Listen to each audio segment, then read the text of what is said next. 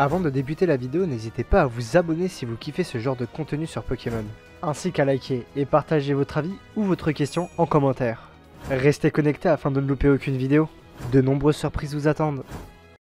Et bien salut tout le monde, aujourd'hui on se retrouve du coup pour une nouvelle vidéo sur Pokémon Legend Arceus et euh, dans cette vidéo je vais vous apprendre à faire un glitch qui vous permettra du coup euh, d'augmenter votre vitesse de course sur Pokémon Legend Arceus. Vous allez voir que le glitch est super simple et qu'il faudra euh, aller maximum 5 minutes la première fois pour pouvoir le réussir. Alors déjà ce qu'on va faire c'est qu'on va se retrouver au bivouac du plateau, donc je vous mettrai un screen euh, sur l'écran. Et euh, une fois sur le bivouac du plateau, vous avez juste à suivre euh, du coup le chemin que je suis en train de faire, c'est juste à côté.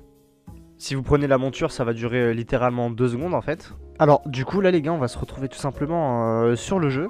Et là en fait ce que je vais aller faire c'est aller provoquer le racaillou qui est juste ici. Donc là je lui ai jeté un noix-grume tout simplement. Et après, je vais essayer de le capturer. Bon, après, je sais pas pourquoi j'ai fait ça. Hein. J'étais complètement possédé à ce moment-là, je pense. Mais heureusement, du coup, que je ne l'ai pas capturé. Donc là, il est bien, bien, bien, bien énervé contre moi. Et là, vous, allez voir, il va essayer de m'attaquer. En fait, pendant qu'il m'attaque, il faut que j'arrive à tomber sur lui, en fait. Donc voilà, c'est pour ça que je disais que ça prenait quand même euh, un peu de temps, mais que c'était super simple à réaliser comme euh, glitch. Donc vous voyez que la première fois, là, j'ai raté. Et euh, là, tout simplement, dès qu'il va retenter son attaque, s'il le veut, bien sûr. Parce que là, il est en train de me regarder. Et voilà. Vous avez vu, là, et là, Hop là, le glitch fonctionne. Donc j'ai une super vitesse et euh, bah du coup voilà, c'était cool. Donc pour activer la super vitesse, il faudra juste, euh, juste courir en fait, tout simplement. Donc euh, il faudra pas user toute votre stamina et quand vous montez d'ailleurs au dos d'une Pokémonture et que vous redescendez, du coup ça annule le glitch. Mais voilà, c'est un petit glitch assez marrant à faire et, et, super simple pour le coup du coup.